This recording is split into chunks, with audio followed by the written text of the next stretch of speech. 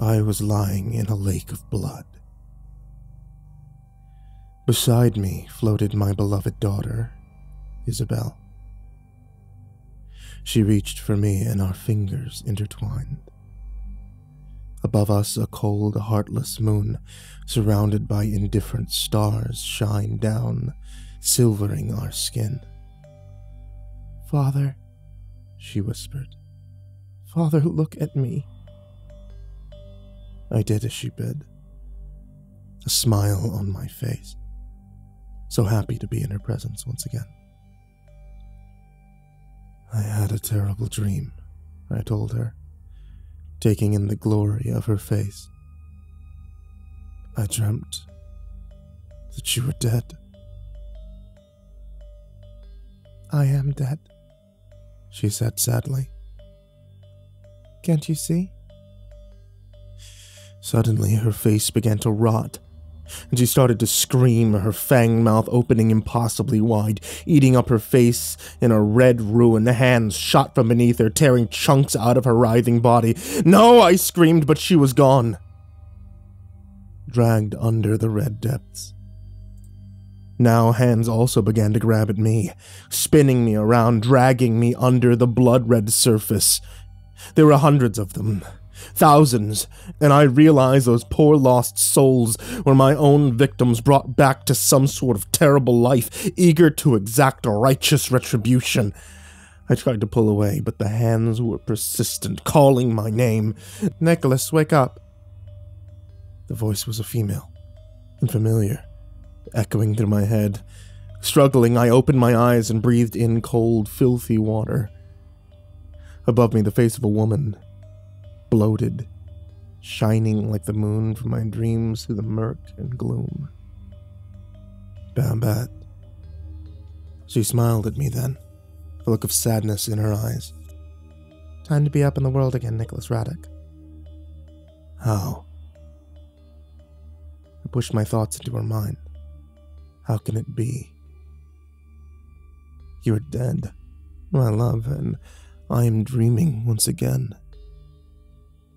A dream within a dream, she answered, pulling me towards the surface. I tried to fight her, wanting to be alone in my sorrow, but she was strong. My mother in darkness. She always had been so much stronger than I, and now she tightened her grip as we broke the surface, rising us higher and higher until we levitated above the water. How? I said, reaching for her face. How are you real? But she said nothing. She moved in a blur of motion, depositing us on the nearby shore, where I shot to my feet, embracing her and kissing her face.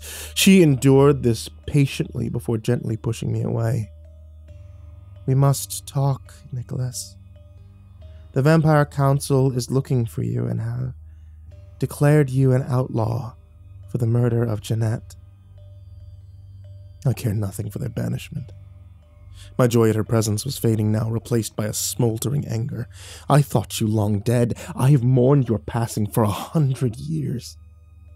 I found your letter and your sun blackened clothes. I ran my hand through your ashes, pulled them to my face, wept over them, and yet here you are, very much alive and well. How did you do it, Babette? Why did you do it? Or have you risen like some terrible phoenix from your own ashes? Am I terrible to you then? She said, reaching for me, but I backed away. Explain first. She sighed, then sat down upon a nearby rock. I did it for you, Nicholas. I was making you weak. Your love for me made you vulnerable, and you had your family at some point, you would have had to decide between your mortal descendants and myself. A choice that would have torn you apart, and so I made the decision for you. And is that the only reason? I asked, knowing there was more. No, she said. I was jealous of your devotion to them. I considered hurting them, killing them, but I knew you would never forgive such an atrocity. I was confused and angry, so I decided to leave. But I knew you would follow and try to bring me back to help you watch over these children of your lineage, and so I faked my own death and left you. My family, I sighed,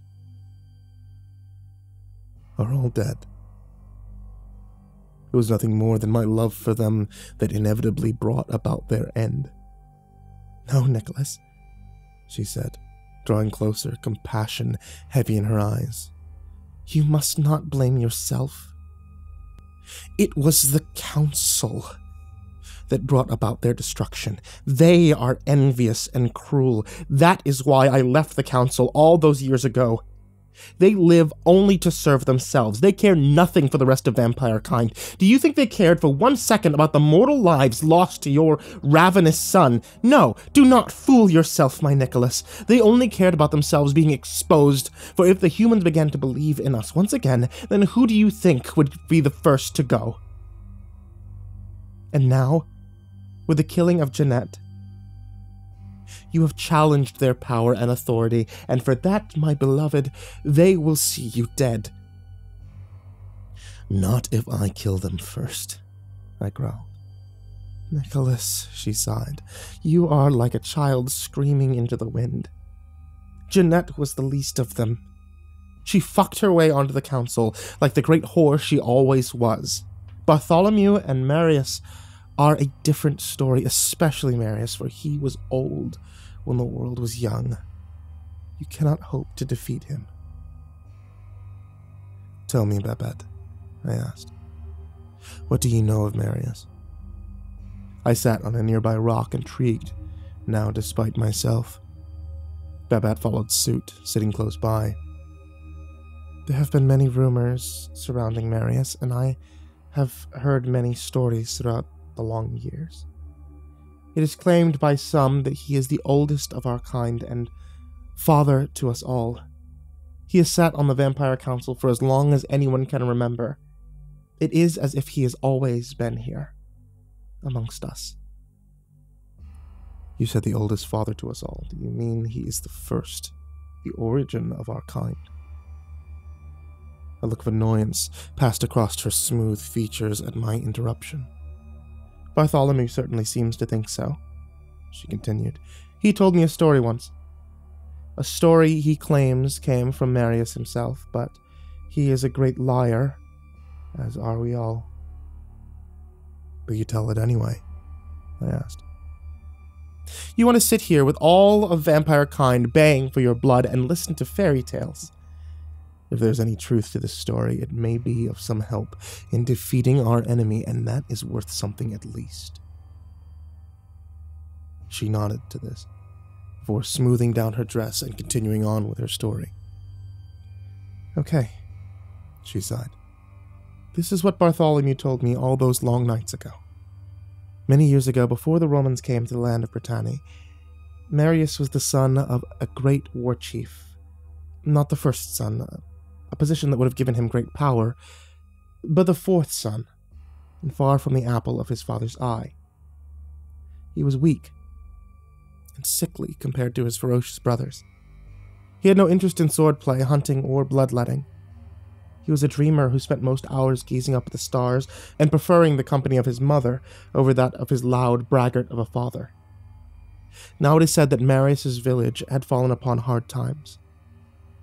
For five years, the crops had failed, and disease and pestilence roamed the land, and the Druid priests believed the old god who lived in the earth had abandoned its people. Sacrifices had been made. Every year, the blood of men, virgins, and even babes had been offered up to the old god of the grove. But the crops still failed, and Marius's people were close to the edge. And so it was on the eve of the winter solstice that the high priest had come before Marius's father and demanded royal blood to sate the hungry god. Marius's father feared the old god greatly, and with only token resistance, had offered up his youngest son under much protest from his screaming mother. Marius, however, did not protest. For him, this was a noble sacrifice, something he would be remembered for, and a way to help his people, and so he bravely agreed to be sacrificed upon the old one in the ground. The next day, there had been a great feast in Marius's honor. One of the few remaining goats had been bled, and Marius had been given the best of everything the best food, wine, and women had all been his for the day.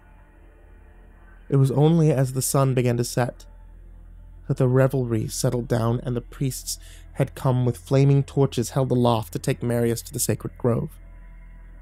The walk had been a long one through the night darkened forest. Marius began to sober with every step. His fear wormed its way into his guts.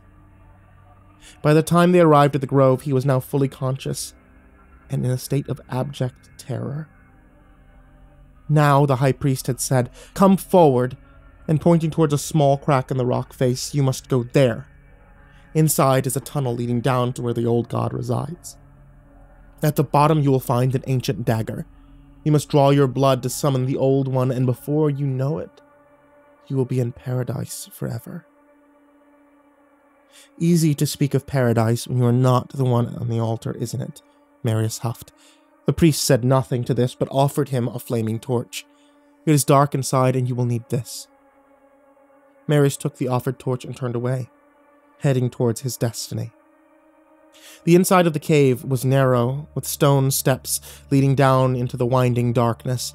The walls were rough hewn and heavy with chisel marks as Marius descended, the walls smoothed out, revealing hideous cave paintings that seemed to writhe and undulate in the flickering torchlight. Marius quickly looked away. The images burned in his brain, a story of ages past and sacrifices made in blood to one who was old when the stars were still young. But not once did Marius consider fleeing. He had this duty to perform and was honor bound to see it through. Deeper and deeper he descended, beginning to fear his guttering torch would go out, leaving him alone in the darkness when suddenly the stairs beneath him stopped, grinding him to a halt. He looked in terror at the cavern before him. The cavern was small but with a high ceiling from which dripping stalactites hung like jagged teeth. The walls were covered with a strange looking lichen that let out a sickening green glow, illuminating the cavern floor that was covered with age old blackened bones. Protruding from the pile of ancient decay was a large well cut of rough hewn stone, darkened and stained with the spilled lives of countless victims. Upon the edge of this ancient monastery lay an equally looking ancient dagger, and as Marius approached, he noted it was not made from iron but from white pitted bone. Reaching down with a shaky hand, he scooped the thing up. It felt incredibly heavy and cold in his hand. This was the gateway.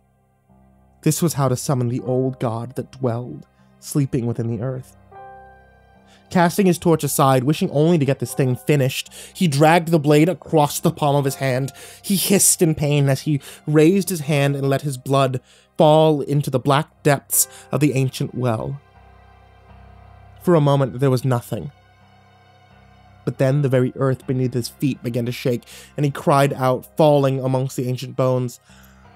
Something was coming, racing towards him. He could feel it now, sense its eagerness and terrible greed.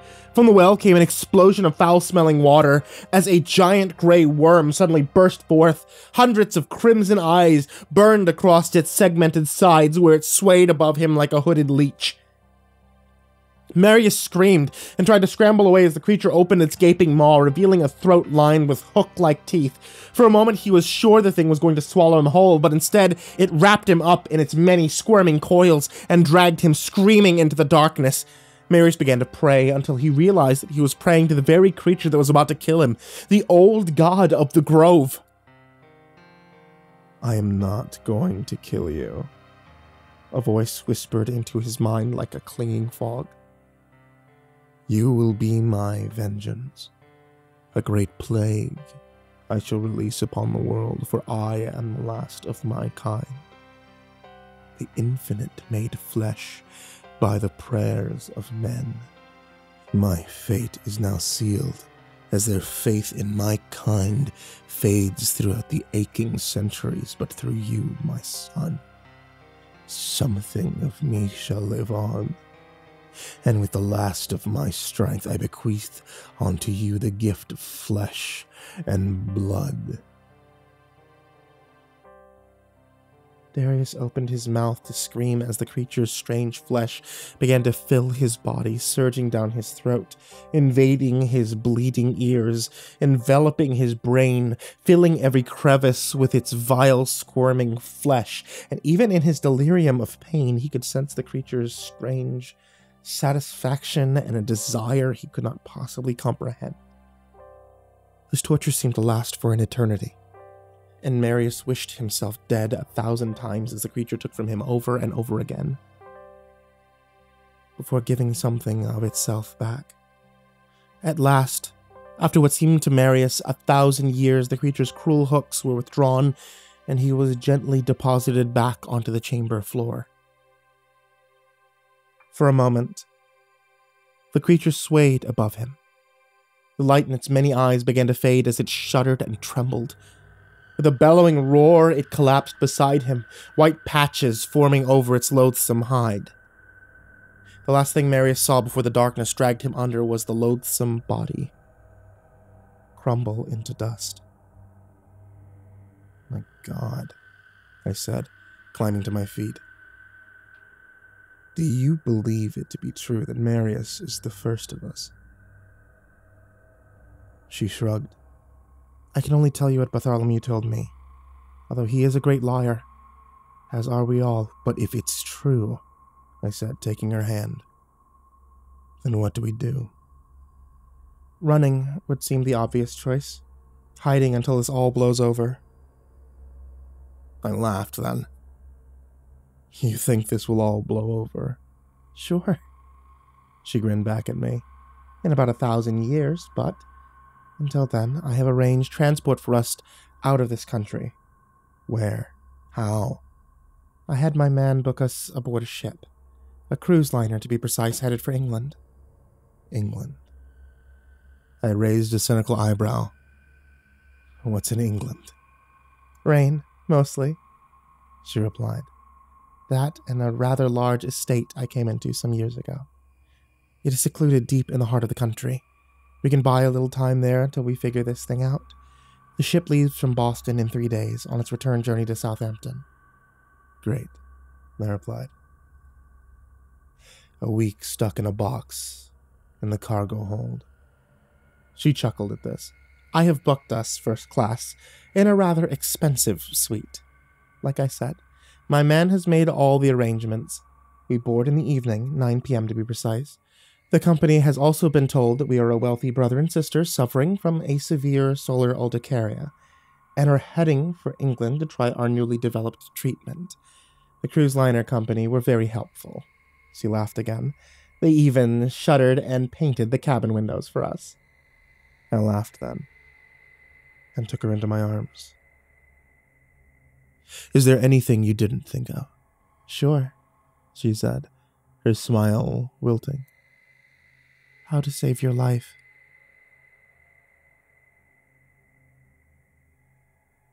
Six nights later, I stood on the deck of the Ocean Princess. The cold waters of the Atlantic glistening past below, the cold wind biting at my skin. Behind me, a band played, and people laughed and drank a hearty assortment of fruity cocktails and yeast smelling beers. I myself was in no mood for laughter.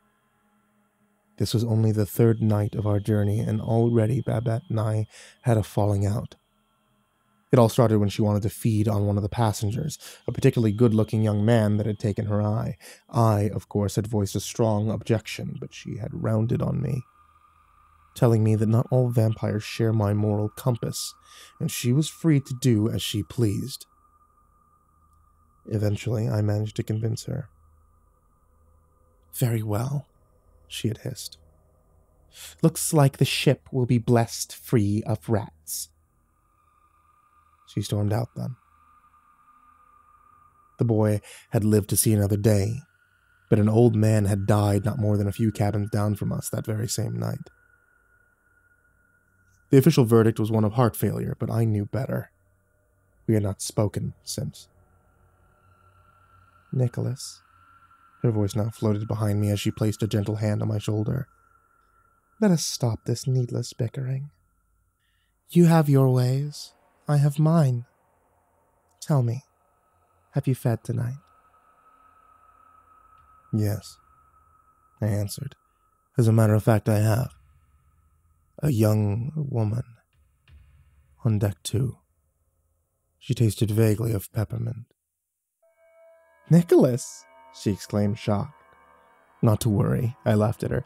It was only the smallest of sips, just enough to get by. Did you know there's not a single rat aboard this ship? This modern world is a marvel of sanitation. I wonder, she said, a small smile playing across her bow shaped mouth.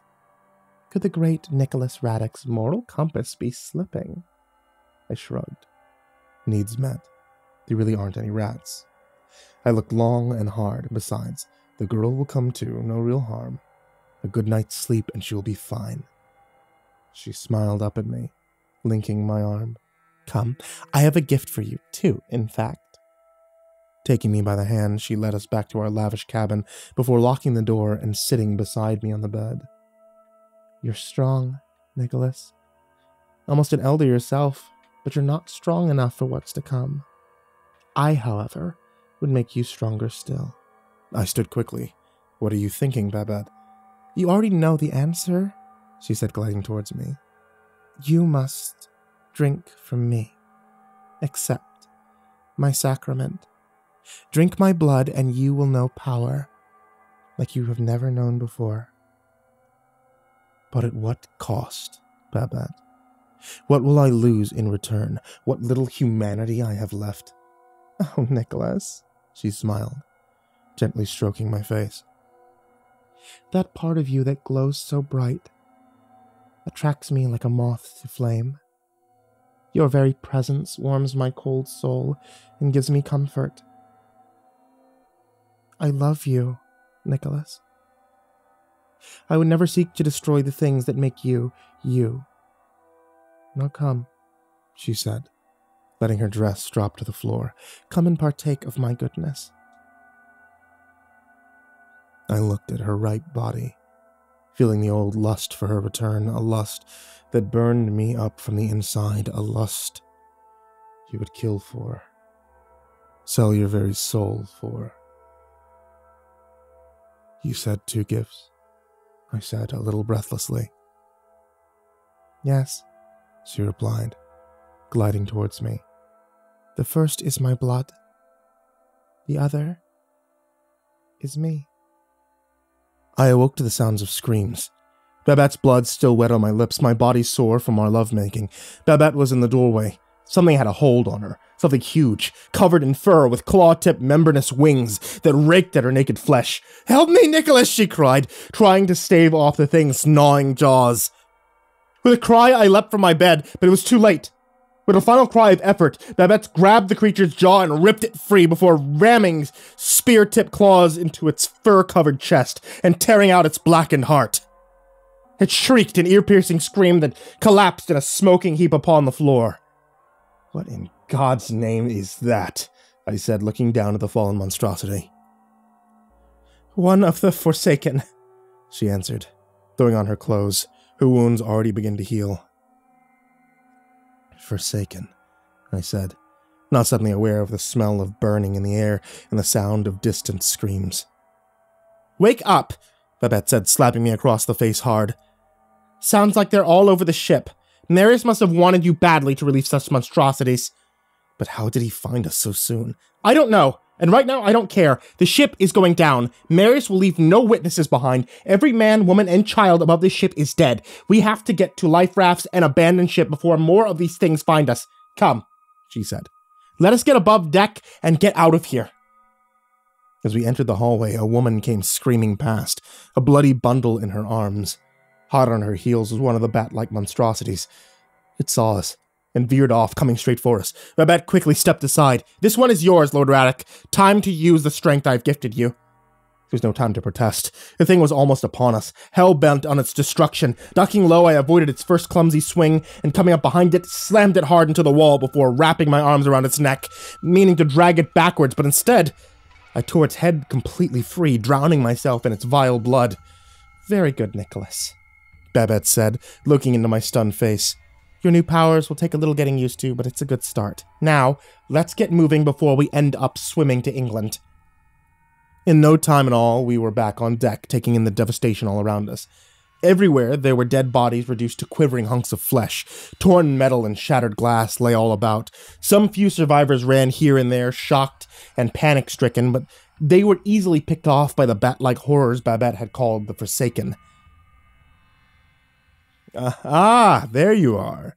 A dark voice crawled out of the shadows. It was Bartholomew leaning casually against the ship's railing, seeming to enjoy the slaughter all about him. When Babette stepped out from behind me, his eyes widened somewhat before his casual demeanor was slimmed back into place. Lady Babette, we should have known you would come to save your little pet. Pet, she said, looking around at the devastation. I would say it was you who let your pets off the leash. He bristled at this. These abominations are nothing to do with me. These are Marius's creatures, not mine. We use them to track you, Nicholas, just like a sort of psychic hound dog. It took them some time, but now here we are. And what about these people? I demanded. He shrugged. They were hungry, so I fed them, he said with an evil grin. When they're finished and you are dead, we'll sink the ship and fly back home. Another ship, sadly, lost at sea. Tell me, Babette, have you learned the power of flight yet? That's I knew his whole casual facade was a lie. He was nervous of her power, and I wondered who was the strongest of the two, and if Babette shared her blood with me. Had it weakened her at all? I learned to fly many years ago, Bartholomew, although I prefer a plane when I can manage it. So tell me, she said, circling him, what now? Now? he said, never taking his eyes off her. Your protege dies for the murder of Jeanette. The only question is if you're willing to join him. Do you not hope to stand against myself and the Forsaken. Uh, stand aside. I promise to make it quick and painless. Oppose me, and you shall both suffer a thousand deaths before the sun rises. You know me, Babette, he said, looking her up and down slowly. You know what I can do. How many times have I tasted your sweet flesh? How many times have I flogged it and sliced it? How many times have you licked your own blood from my skin? You talk of pets, but there was one time you were mine, mine and Marius's. Such fun we had together. Perhaps I can persuade Marius to give you back to me now that we have lost our precious Jeanette. well then, she laughed, you make it a simple choice. I will never be at your mercy again. Kill him and be done with it. The whole thing is beginning to bore me, and the night grows short. Do not try to trick me, Babette, Bartholomew growled. I am no fool. There's no trick, Babette said, stepping aside. I won't risk my life for his. He is one of many playthings I have made over these long centuries, and I am sure there will be many others along the way. Just make it quick and painless, as you promised. For a minute, he just stood there, looking at her as if weighing up her words. Okay, he said. I have a better idea. You kill him instead. She sighed deeply. As you will. Sorry, my love, she said, pacing towards me. But you're just not worth it. I tried to back away, but she so suddenly had me by the throat, her razor sharp nails piercing my flesh. Behind her, Bartholomew began to laugh uproariously. Sorry, he grinned at me, but this is going to hurt somewhat. Suddenly she spun around and flung me with all of her might at the laughing Bartholomew, who I crashed into with bone breaking force, smashing the steel railing behind us, sending us both hurtling into the frozen sea. I was falling now, falling through the inky black darkness. Above me was some kind of maelstrom. It, it, took my vampire eyes a moment to adjust to what I really was seeing, but above me, Babette and Bartholomew were locked in a deadly embrace, each tearing at one another with fang and claw, the water around them turning crimson as each fought to best the other. Feeling my bones beginning to heal and reknit, I swam upwards, kicking, grabbing hold of Bartholomew's leg, but he brought his other foot down upon my head, trying to kick me away. Still, I grabbed at him, clawing my way up his back as Babette hammered at him, trying to free herself from his deadly embrace. When I reached his neck, I threw my hands around it and leaned back, my knee against him as I tried to tear his head free. I felt bones groan and tendons snap, but even with Babette's blood, I simply did not have the power. Out of sheer desperation, I tore into his throat, locking onto him.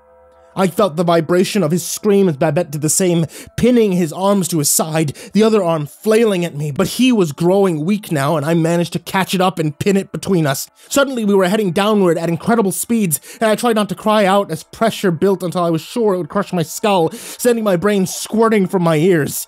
Yet still we went deeper, Babette driving us downward as I looked on in horror as she tore Bartholomew's arms away, and then his leg before rudely pushing him aside. We hit the ocean floor. There she continued her grisly work, pulling his other arm and leg away like some callous child tearing a butterfly's wings.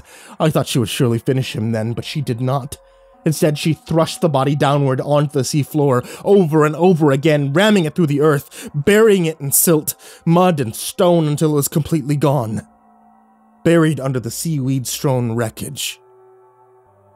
Taking my hand, we swam upward flying through the water at great speeds. Bartholomew's blood was working on me now, and I felt stronger, stronger than I had ever felt before.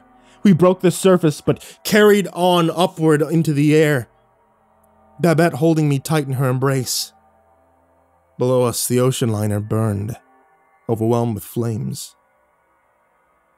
All those people, I whispered into her ear, are dead because of me. No, she said, turning us away from the scene. It was the council who brought such wrath upon them. They are no longer fit to serve. I said nothing to this. I was tired, more tired than I had ever been in my long, long life. The sound of the ocean was soothing, and Babette's embrace a comfort.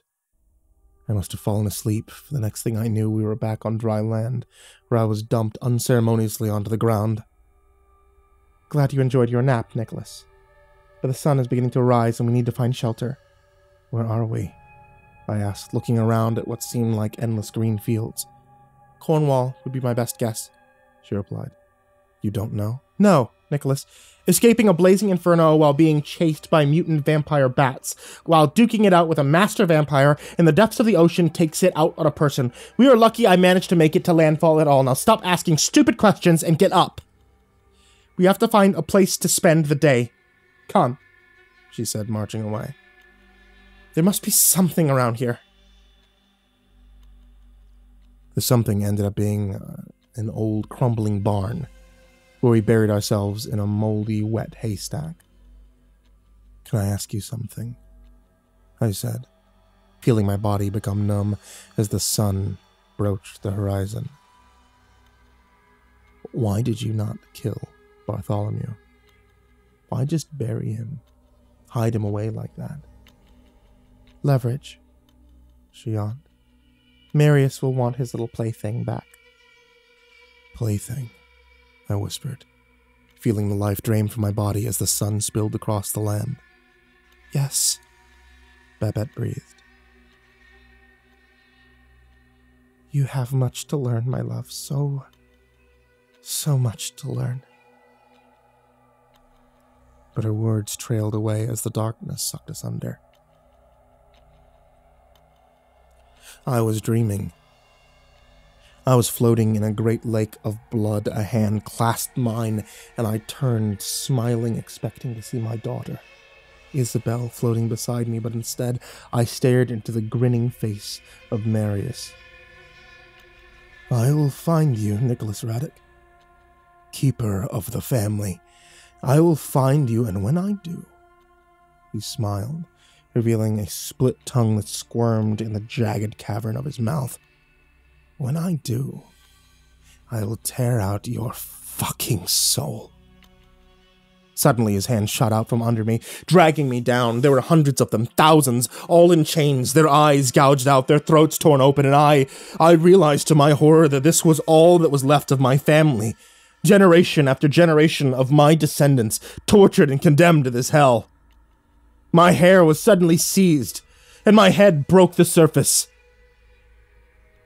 For the family. Marius whispered into my ears, and suddenly the lake of blood became a lake of fire. I began to scream as the flames took hold. I screamed long and loud. In the end, I screamed loud enough to wake the dead.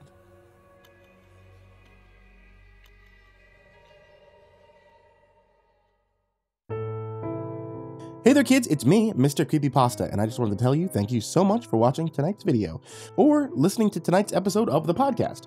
It really helps me out whenever you guys do things like listen or watch. And it really helps if you guys also subscribe to the podcast or subscribe to the YouTube channel, or do things like clicking the bell or clicking the like button. Also, it's becoming allergy season, and it's affecting me, in case you couldn't tell. Well, I have one thing that actually does help me out, and that's the help from my wife's tea. My wife makes tea and sells it online at etsy.com slash shop slash ivory monocle tea. If you guys want to test some for yourself, then head over to the shop, get yourself some of the Dark and Stormy Night, which is my personal favorite, and ask for the Dabbing Mr. Creepypasta sticker. And as always, I want to give a very special thank you to all of my supporters on Patreon. You guys are the ones who help me keep the lights on the house, as well as allow me to do things like commission brand new stories. In case you guys haven't noticed, we hit that tier. So a very special thank you to Jordan Alexander Sanchez, Stricken, Chase Burnett, Deanna Kraus, G Weevil 3, Tristan Pelton, 1 800 Nightmare, Acid System, Aaron Stormcrow, Azarine Fox, Bobby Carmen, Chris Lovin, Cryptic Nightmares, The Doctor, Daniel Polson, Dr. Stein and Mr. Happy, Euro Gore, Freddy Krueger, Fried Chicken 12, Hades Nephew, Infertile One, James Bruce, James Lowe, Jason VR Wilson, Jimbo the Hut, Jordan Nels, Jordan Johnson, Caleb Dougal, Kiri the Sloth, Legit Quad Feed, Liam Newman, Lisa Cottrell, Marco Takes Dabs 420, Michael Scarborough, Nico Kayo, Nina Smith, Prozac and Pancake Appreciation Society, Rafael Rodriguez, Robert White, S-Man, Sky Harbor, Snails Burnett, Talon Carlick, The Ginger Bros, Trace Miles, Suji Campbell, Tynany, Unknown Nobody, Andre Garcia, Brianna Wright, Brian Ace, Caspian, Hogunkji, and someone you love. And also a very special thank you to everybody who's down there in the description down below below. All you guys who are listed as Patreons and everybody who's even supporting for just $1, I really love and appreciate you guys. And if you want to join them, you can always head over to patreon.com slash Mr. Creepypasta. Even a dollar a month, honestly, keeps the show going. So thank you guys so much. And to everyone out there, sweet dreams.